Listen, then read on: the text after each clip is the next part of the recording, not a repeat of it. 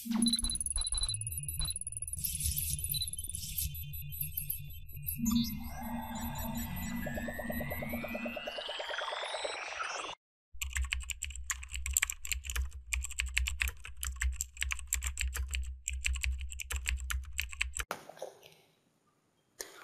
Technical solution and entertainment চ্যানেলে আপনাদের সবাইকে স্বাগতম। ফ্রেন্ডস আজ আমি আপনাদেরকে দেখাবো কি করে কোনো লাইসেন্স কি ছাড়াই আমরা Windows ten Windows seven Microsoft Office ten কিংবা মাইক্রোসফট অফিস সেভেনকে অ্যাক্টিভ করতে পারি। তো কাজটি করবার জন্য আমাদেরকে প্রথমে একটা ছোট্ট টুল কিটের ডাউনলোড করার প্রয়োজন হবে। যে টুল কিটটির ডাউনলোড লিঙ্ক আমি আমার ভিডিও ডেসক্রিপশন বক্সে দিয়ে রাখব। আপনারা সেখান থেকে টুল কিটটি ডাউনলোড করে নেবেন। টুল কিটটি ডাউনলোড করার পর আপনারা কীভাবে টুল কিটটি ইনস্টল করতে পারেন। আর টুল কিটটি দ্বারা আপনারা কীভাবে আপনাদের উইন্ডোজকে অ্যাক্টিভ করতে পারেন, তা আমি আমার ভিডিওতে প্রথম থেকে শেষ পর্যন্ত দেখাবো। আপনারা ভিডিওটি না টেনে ধৈর্য সহকারে দেখুন। আশা করি কাজটি আপনারা খুব সহজেই করতে পারবেন। আপনারা যদি আমার চ্যানেলটিতে নতুন হয়ে থাকেন, তাহলে চ্যানেলটি সাবস্ক্রাইব করে আমার চ্যানেলটির পাশেই থাকুন। আর যদি ইতিমধ্যে সাবস্ক্রাইব করে রাখেন তাহলে থ্যাংক ইউ সো মাচ চলুন শুরু করা যাক